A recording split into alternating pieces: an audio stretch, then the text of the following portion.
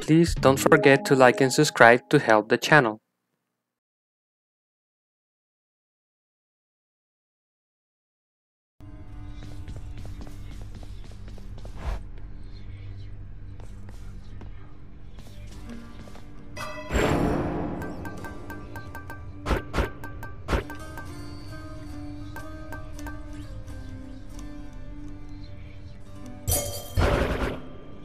Return my darkness to me.